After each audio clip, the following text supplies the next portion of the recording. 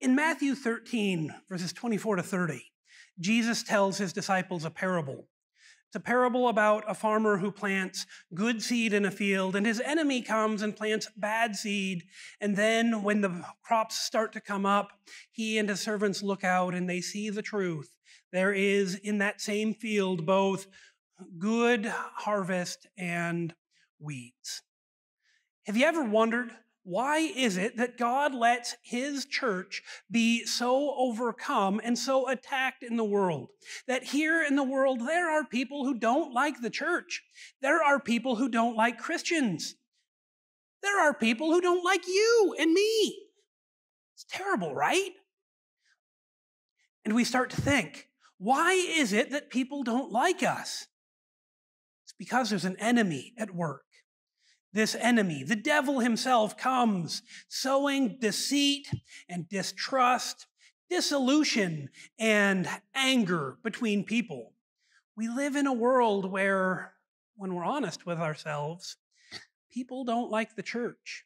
Jesus told us exactly how it was going to be. They won't like you because they didn't like me first. And so we trust and we believe in Jesus and we take him exactly at what he said was going to happen.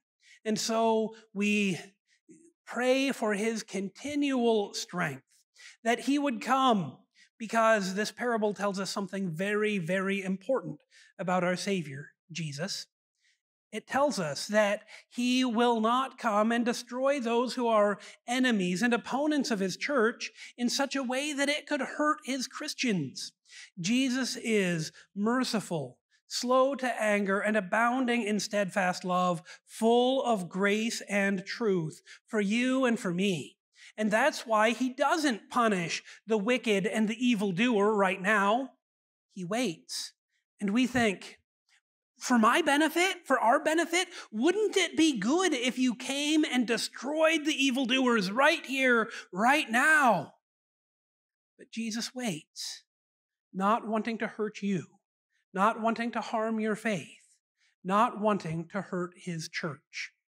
And out of the great love of your Lord Jesus, he keeps strengthening you, building you up that you bear a harvest. And he has a promise for you that you have an eternal place with him in the day of his return. He isn't going to be content to let you be taken away from him. Oh no. He has plans for you, good plans, plans to prosper you and not to harm you. And in the meantime, he gives you patience. Patience as you live in a world that doesn't always like Him, that doesn't always like you.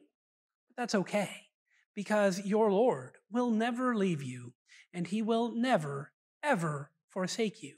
Rejoice and be glad in that promise now and forever. Did we do good? Is that is that okay? If if you liked that, hit the button that says that you like that. Maybe even subscribe to see more of these even give, help us fund this mission of making known the gifts of Christ Jesus to youth and young adults. If you like this video, check out our website, higherthings.org, and check out more content from Higher Things.